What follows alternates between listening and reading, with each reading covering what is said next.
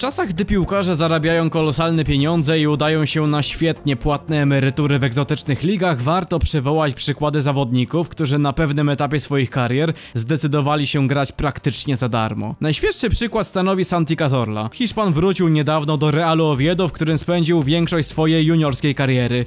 Na własną prośbę podpisał kontrakt z najmniejszym możliwym wynagrodzeniem. Zrzekł się również wszelkich praw marketingowych, a 10% ze sprzedaży koszulek z nazwiskiem Cazorli przeznaczone zostanie na rozwój klubowej akademii. Podobnie wyglądał powrót Jakuba Błaszczykowskiego do Wisły Kraków w 2019 roku. Próbując ratować swój ukochany klub przed upadkiem, zgodził się na minimalną kwotę 500 zł miesięcznie. W dodatku przeznaczał ją na zakup biletów dla dzieci z domów dziecka. Na minimalną kwotę w Barcelonie zgodził się także Dani Alves. Minimalna roczna pensja w La Liga to 155 tysięcy euro i właśnie taką umowę podpisał Dani Alves.